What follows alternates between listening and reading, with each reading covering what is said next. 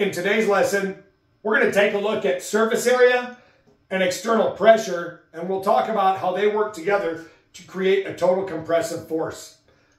If we have a cylinder that's 22 feet in length and 8.5 feet in diameter, that's going to have a total surface area of 100,800 square inches.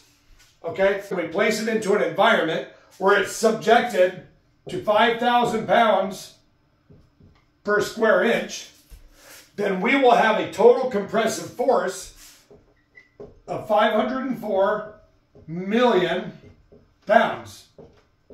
That's the equivalent of 33,600 school buses or 1,200 locomotives or about the same weight as five Titanic cruise ships. I hope you found this lesson helpful. Thank you.